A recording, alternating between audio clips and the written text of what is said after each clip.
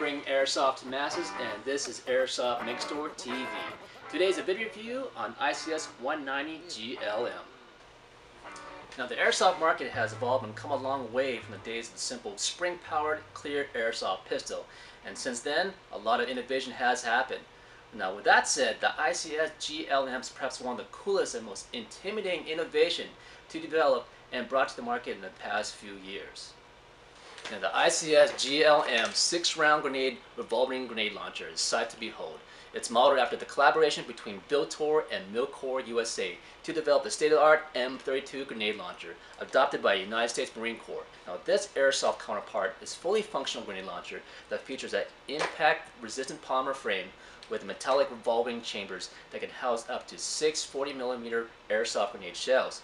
Now GLM features a fully integrated VLTOR-esque rail system which allows for ease installations necessities such as uh, grips, lasers, flashlights, and even a top rail for optics. Hollow sight for your grenade launch, anybody? Well, a tactical ergonomic vertical grip is included in this package for shooting stability. It also has a removable panel to place a pressure switch and available small storage if you unscrew this bottom cap. It's easily removable with the press of this button should you want to replace it with a grip or other accessory of your own. Now the rear stock is a six, tactical six-point adjustable retractable LE carbine style stock.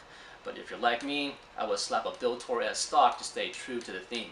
Anyhow, the stock is also adjustable in three different angles for your shooting comfort uh, to dial in your optimal shooting positions, whether you are standing, crouching, crawling, or running. If you want to put planking too, that's included too.